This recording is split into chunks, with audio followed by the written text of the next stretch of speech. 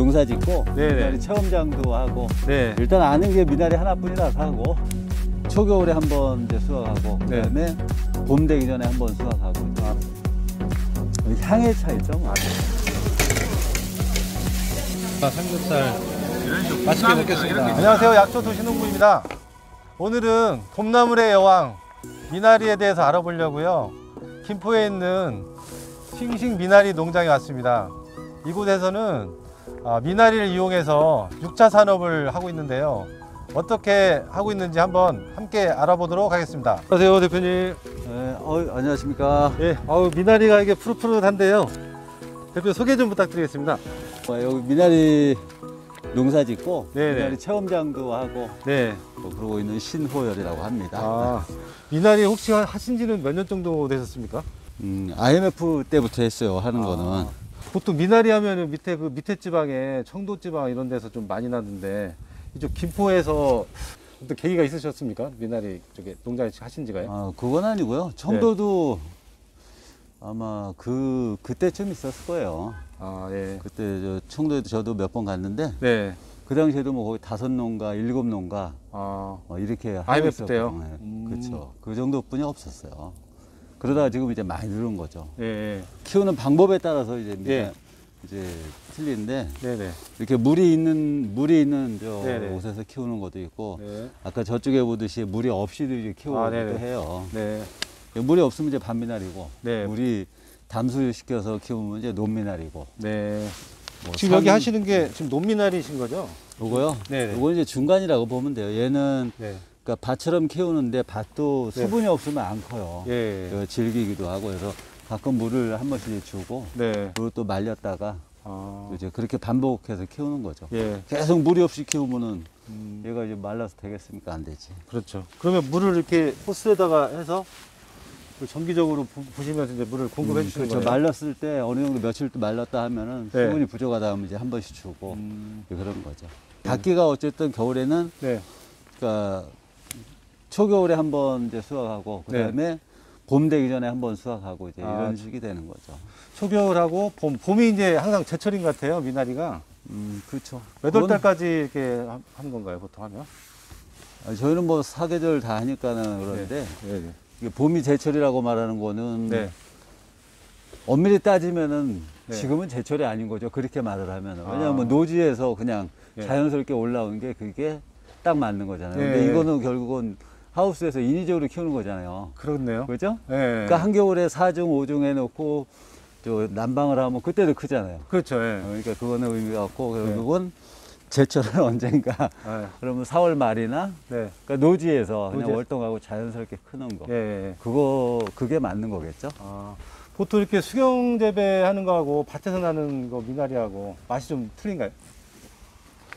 향의 차이죠. 뭐. 아, 향이요? 음. 아, 아무래도 저 뭐야 물이 없이 수분이 좀 그 거기는 그냥 밭에서 키우는 거는 수분이 좀 부족하다고 봐야죠. 예. 근데 논에서 키우는 거는 물을 항상 담수되어 있으니까 아, 그 향의 차이가 좀 많이 나는 거죠. 예, 예.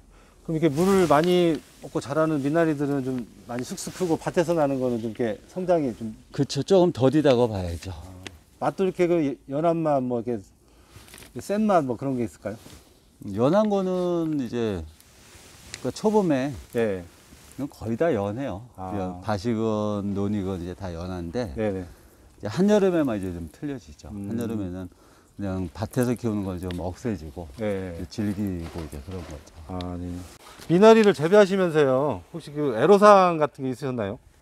그러니까 저희가 애로사항이나 무농약을 키우니까는 무농약으로. 네, 예, 그 그렇죠. 이제 약을 일반 관행약을 치면은 네. 뭐 충이나 균이나 이런 걸 조금은 편하게 잡을 수 있는데 네, 네. 이거는 뭐 친환경 제재로만 해야 되니까 아, 네. 아무래도 좀 그게 애로사항이죠. 뭐. 손이 좀 많이. 가겠네요. 그렇죠. 네. 이게 막 충이나 균 이런 것들도 예, 예. 옛날에 그러니까 그 오랜 전에는 없던 것들이 네. 지금은 생겨요. 아, 어, 벌레도 막 없던 안 보이던 벌레들이 갑자기 네. 나오고 뭐 중국에서 뭐 넘어온다든지 막 그런 것도 많잖아요. 아, 그렇겠네요. 음, 그런 것 때문에 이제 힘들 벽- 때도 예. 있죠. 친환경 하는 게 이것도 쉬운 게 아니거든요. 예. 그렇죠. 하다못해 이 논둑이 옆에 풀이라도 약 풀약 치는 치잖아요. 예. 일반 예, 예. 관행으로 하면. 근데 네. 여기는 치면 안 되고 살게 풀을 이렇게 손으로 뽑아야 되고. 그렇죠. 뽑든지 뭐 계속 저 낫으로 잘라내든지 예. 이 안에는 또 풀은 다 손으로 저 뽑아내야 돼요. 아, 이거 들어가 가지고 다 해야 되니까요. 네. 그리고 이 미나리 키우시면서 이렇게 판매는 어떻게 하십니까? 저도 네. 현장에서도 하고 직접 판매하시고. 뭐 예, 학교 급식에도 조금 납품을 하고 예.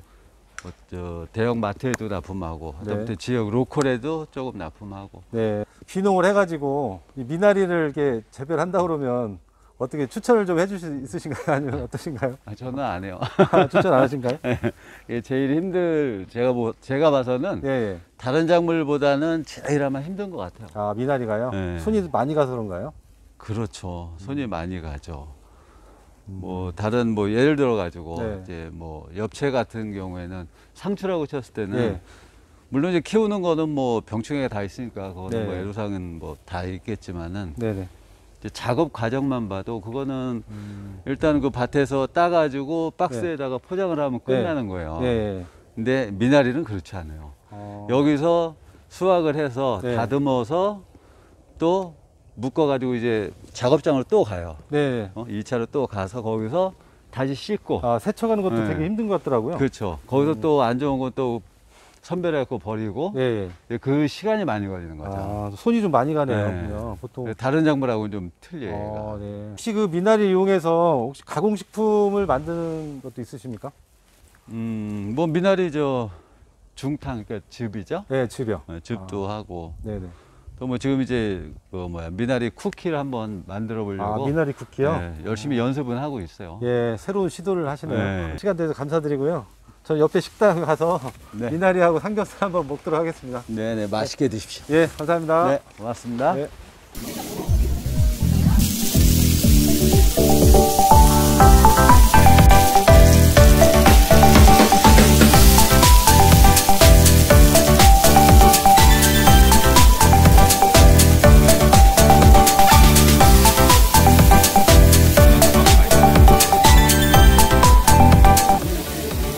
미나리와 삼겹살 맛있게 먹겠습니다.